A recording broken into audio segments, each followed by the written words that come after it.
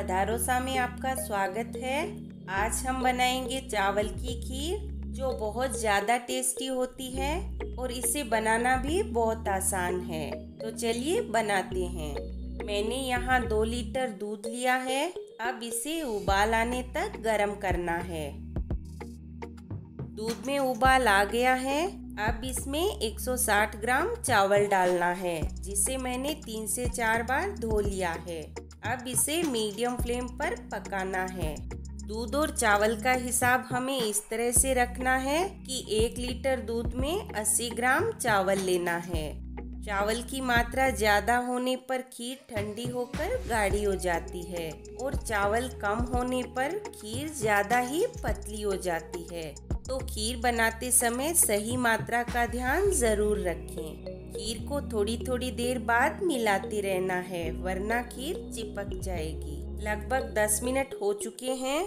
अब इसमें half tea spoon केसर डालनी है। आप चाहें तो केसर की जगह केसरी फ़ूड कलर भी डाल सकते हैं।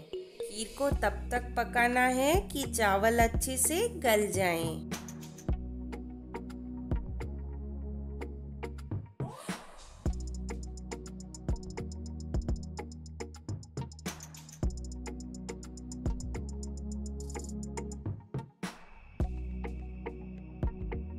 अब इसमें 160 ग्राम चीनी और एक चौथाई टीस्पून इलायची पाउडर डालकर मिलाना है। यानी जितने चावल लिए हैं, उतनी ही चीनी डालनी है।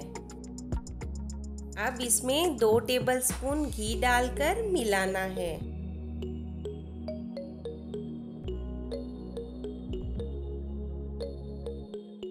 अब इसमें आधा कप कटे हुए बादाम और पिस्ता डालकर मिलाना है। आप अपने टेस्ट के हिसाब से ड्राई फ्रूट्स डाल सकते हैं। अब लगभग 8 से 10 मिनट तक लो फ्लेम पर पकाना है। पर थोड़ी थोड़ी देर बाद मिलाते रहना है।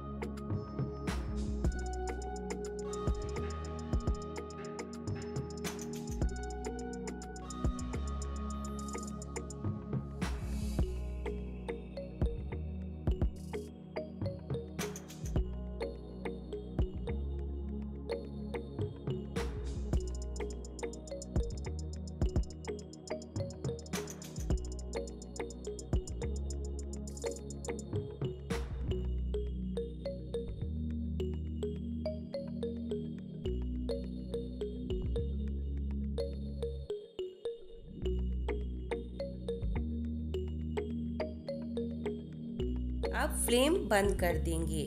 अब इस पर ढक्कन लगाकर 10 से 15 मिनट के लिए रख देंगे।